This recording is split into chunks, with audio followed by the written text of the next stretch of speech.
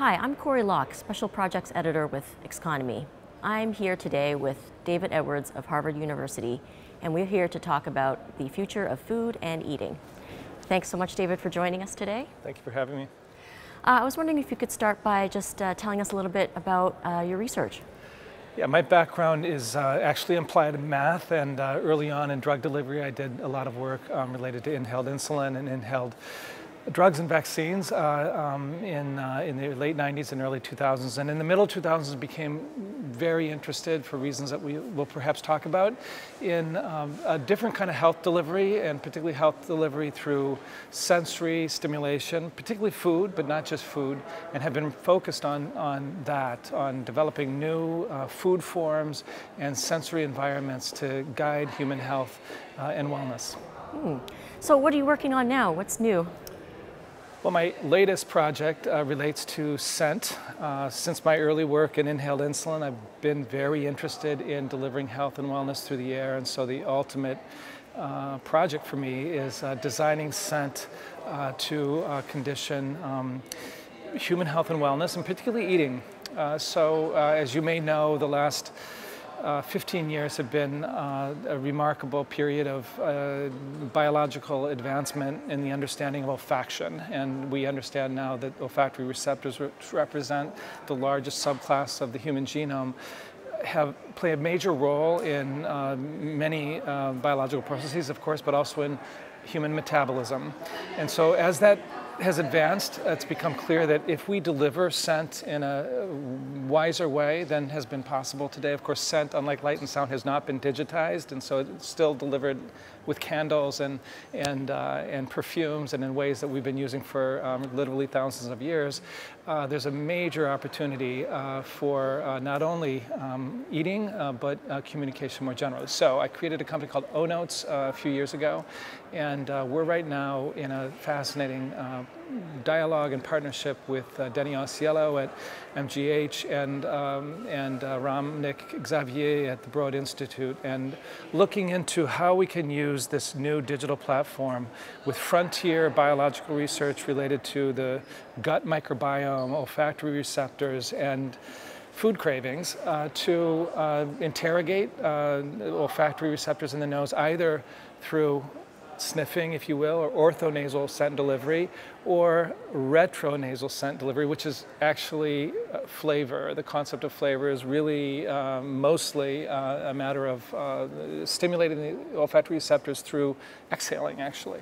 So we're looking into how to do that, how to deliver scent one way or the other, uh, connected to a quantitative understanding of human phenotype so that we can deliver scent smartly and help guide um, food behavior and, and, uh, and human wellness more generally. Hmm. So we're talking about um, engineering scents into foods to make them more palatable for people, you know, well, healthier food? In, in, a way, we're talking about designing foods better. Um, and, but not only food, also the receptacles in which we eat food and the environment uh, in which we eat food. We understand now that food is more than the material that we place in our mouth, even though obviously scent plays a big role in the experience of that food, uh, but also the sensory environment that conditions us prior to eating, during when we eat, and after we eat. And so, how do you design that environment. We know quite a bit about light and sound at this point and its effect on eating, but we're just starting to learn a lot about scent.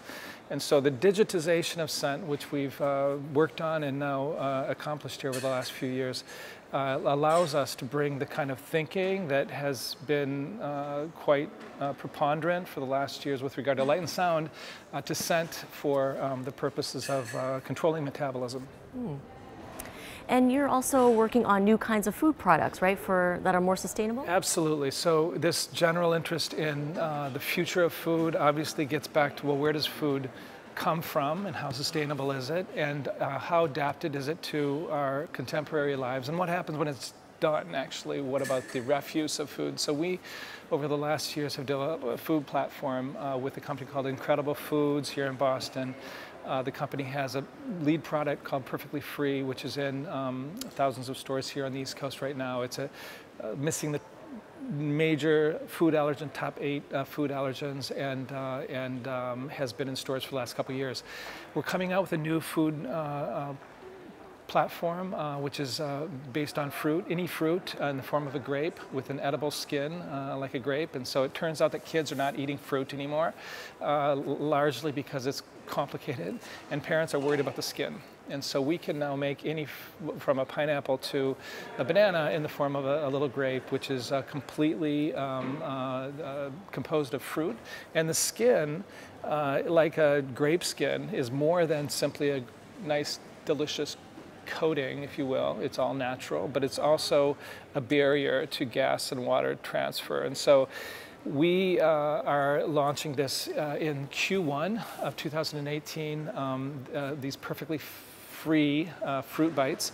And uh, in that context, just here in a few days, uh, we're opening what's called the World Frontiers Forum. It's the first uh, forum of its kind uh, in partnership with MIT and Harvard, a number of other uh, organizations, and, uh, and uh, presenting on Friday, actually, a food forum which is made with this technology, which tastes like a hot dog, it looks like a hot dog, but it's completely vegetable based and it's wrapped in edible skins of mustard and relish.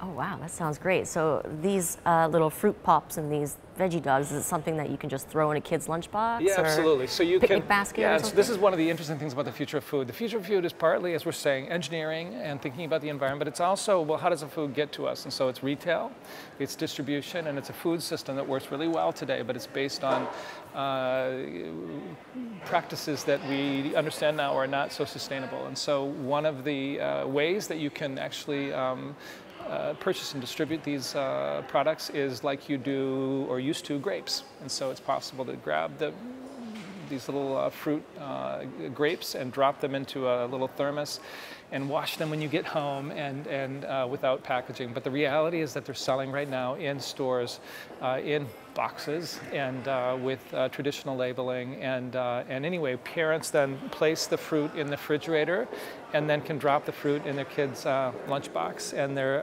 like, like grapes, they're, they're good and delicious all day long. Wow, that sounds interesting. So we've talked about uh, kind of new kinds of food products and then uh, new ways of kind of consuming and, and, and sensing the food. So how do the two kind of come together in your vision for the future of, of food and eating? So I think what's happening, um, if we look 10 years, 20, 30 years in uh, the future, the future of food is the future of healthcare, is in a way the future of communication. I think all of them are uh, converging uh, in a future of human wellness.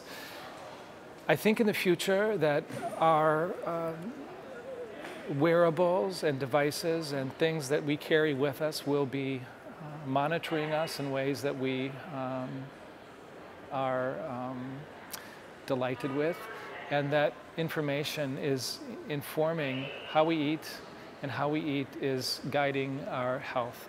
I think that that information uh, is part of a already today is part of a natural biological uh, feedback system that our bodies have. Uh, but because of the really radical ways in which we've changed uh, our environment uh, over the last years for many, many really positive reasons, uh, we now need to think uh, much more coherently about how we eat and how it connects to these different um, healthcare and, and uh, communication um, industries, really.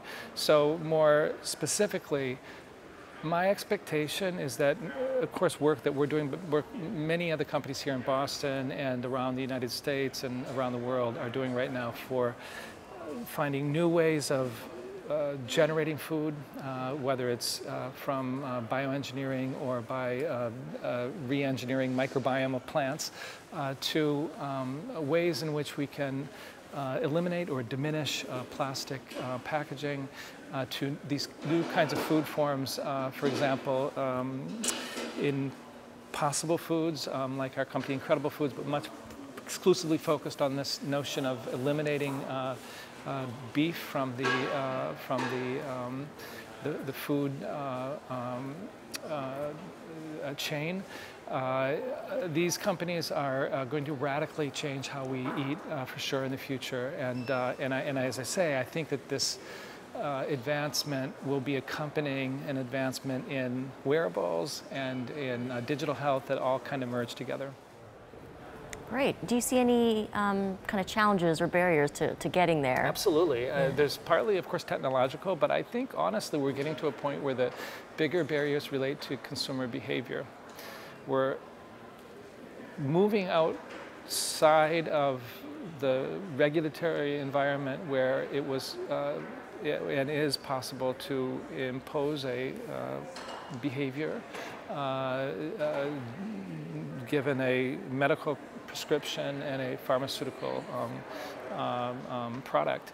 Uh, but as we move into a consumer practice, uh, we're counting on consumers adopting willingly um, and, and not simply a small group, but a mass uh, population adopting new behavior. And I think it will require engineers and scientists and um, companies and, and uh, restaurants and all of us to listen well actually, and to be uh, adapting our uh, innovations uh, not only so that they work and they're sustainable, but that they're adoptable and uh, embraced by, uh, by people. Okay, well, that was all very interesting. I look forward to seeing how food and eating are going to change. Well, thank you.